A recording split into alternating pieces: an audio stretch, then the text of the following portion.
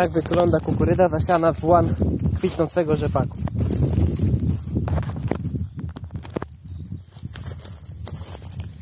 Rzepak spalony.